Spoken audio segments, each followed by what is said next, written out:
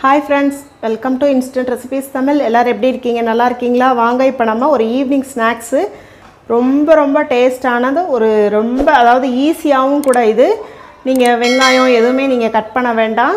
ஒரு கெஸ்ட் வந்துட்டாங்க அப்படின்னா உடனே உருளைக்கிழங்கும் முட்டையும் இருந்ததுன்னா உடனே நீங்கள் வந்து ஈஸியாக சட்டுன்னு செஞ்சிடலாம் இந்த ஈவினிங் ஸ்நாக்ஸு அதுக்கு நான் மூணு உருளைக்கிழங்கு வேக வச்சு எடுத்து வச்சுருக்கேன். இந்த மாதிரி பெரிய டம்ளர் வந்து இருந்ததுன்னா கனமான டம்ளர் பெரிய டம்ளர் இருந்ததுன்னா அதை வச்சு நல்லா ஸ்மாஷ் பண்ணிடுங்க எந்த கட்டியும் இல்லாமல் நல்லா ஸ்மாஷ் பண்ணி எடுத்துக்கோங்க. இப்போ நான் அப்படி தான் எடுத்திருக்கேன். வேக வச்சு நல்லா ஸ்மாஷ் பண்ணி எடுத்துக்கோங்க. இதில் இப்போ மசால் பொடி நம்ம ஆட் பண்ணிக்கிடுவோம் கால் டீஸ்பூன் சீரகத்தூள். கால் டீஸ்பூன் மல்லித்தூள். கால் டீஸ்பூனுக்கும் கம்மியாக மஞ்சத்தூள் ஆட் பண்ணிக்கோங்க. ஒரு அரை டீஸ்பூன் சில்லி பவுடர் ஒரு அரை டீஸ்பூன் கரம் மசாலா மிளகுத்தூள் அரை டீஸ்பூன் சாட் மசாலா கால் டீஸ்பூன் உப்பு தேவையான அளவு பெருங்காயம் கொஞ்சமாக சேர்த்துக்குருவோம். பெருங்காயம் கட்டாயம் சேர்த்துக்கோங்க. இதை இப்போ எல்லாத்தையும் நம்ம இப்போ மிக்ஸ் பண்ணிடுவோம் ஸ்கூல் விட்டு வந்தோடனே குழந்தைங்கெல்லாம் கேட்பாங்க என்னம்மா ஸ்நாக்ஸ் வச்சுருக்கீங்க இன்றைக்கி அப்படின்னு சொல்லி கேட்பாங்க. அவங்களுக்கு இந்த மாதிரி ஒரு ஹெல்த்தியான ஒரு ஸ்நாக்ஸ் வந்து நீங்களே வீட்டில் செஞ்சு கொடுங்க. ரொம்ப ரொம்ப டேஸ்ட்டாக இருக்கும். ரெண்டு சாப்பிட்டாலே போதும். வயிறு ஃபுல்ஃபில் ஆயிரும். கொஞ்சமாக கொத்தமல்லி சேர்த்து நல்லா பிசைஞ்சிருவோம்.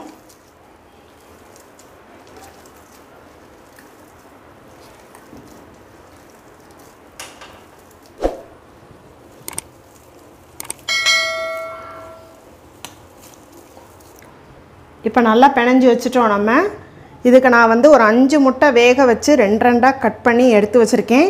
இப்போ இந்த முட்டையில் இதை அப்படியே நம்ம அப்ளை பண்ணிக்கிறோம் இந்த மாதிரி. அந்த உருளைக்கிழங்கு மசாலாவை நல்லா உருட்டி எடுத்துக்கிட்டு அதுக்கப்புறம் அந்த முட்டையில் இந்த மாதிரி அந்த முட்டை அளவு எவ்வளோ கொள்ளுதோ அந்த மாதிரி எடுத்து இந்த மாதிரி இந்த இந்த மாதிரி வச்சுட்டு ரிமைனிங் உள்ளதை நம்ம வந்து எடுத்துக்கிடலாம். எடுத்துட்டு ஒன்று போல் வச்சு ஒரே ஷேப்பாக வச்சுக்கிடுவோம்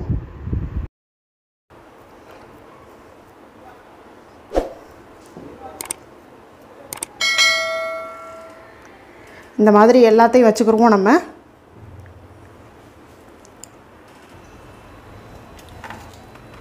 முட்டையில் எல்லாத்துலேயும் இந்த மாதிரி வச்சாச்சு. இந்த மாதிரி வைக்கணும். எல்லாத்துலேயுமே வச்சாச்சு. எல்லா முட்டையிலையுமே நல்லா வச்சாச்சு. இப்போ நான் கடலை மாவு எடுத்திருக்கேன். ஒரு ஏழு ஸ்பூன் கடலை மாவு எடுத்திருக்கேன். நீங்கள் அது எ எத்தனை தடவை வருதுன்னு பார்த்துக்கோங்க எத்தனை முட்டைக்கு வருதுன்னு பார்த்துக்கிட்டு அதுக்கப்புறம் எடுத்துக்கோங்க. ஃபஸ்ட்டு நான் வந்து ஒரு ஏழு ஸ்பூன் மட்டும் எடுத்திருக்கேன். கடலை மாவு கொஞ்சமாக மிளகுத்தூள் ஒரு கால் டீஸ்பூன் சில்லி பவுடர் கொஞ்சமாக பெருங்காயம் கொஞ்சமாக உப்பு சேர்த்துக்கிடுவோம். இது தண்ணி ஊற்றி ரொம்ப தண்ணி இல்லாமல் கொஞ்சமாக தண்ணி ஊற்றி குள குளம் நல்லா கரைச்சிக்கிடுவோம். அடுப்பை ஆன் பண்ணி ஒரு பேன் வச்சுருக்கேன். அந்த பேனில் கொஞ்சமாக ஆயில் விட்டுருக்கேன். தேவையான அளவு. இப்போ நம்ம இந்த அளவில் நம்ம வந்து கரைச்சிக்கிறணும். ரொம்பையும் கெட்டியாகவும் இல்லாமல் ரொம்பையும் தண்ணியாகவும் இல்லாமல் இந்த அளவு. அதாவது இந்த பாருங்கள் தோசை மாவு இருக்கும் பார்த்தீங்களா அந்த மாதிரி நம்ம கரைச்சிக்கிறணும். உப்பு செக் பண்ணிக்கோங்க. இப்போ நம்ம இந்த இதில் வந்து இதை அப்படியே டிப் பண்ணி இந்த இதை அப்படியே டிப் பண்ணிவிட்டு அப்படியே இந்த எண்ணெய்க்குள்ளே போடணும்.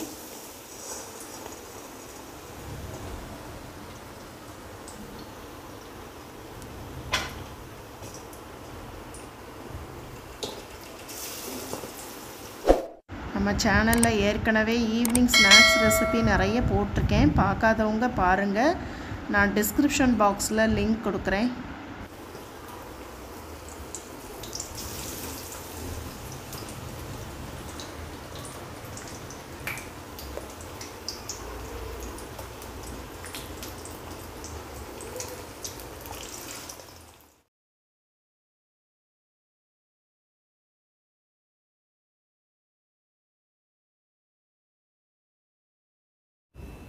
இங்கே பாருங்கள் நாலு இது எடுத்துட்டேன். முட்டை போண்டா ரெடி ஆயிடுச்சு நமக்கு இப்போ.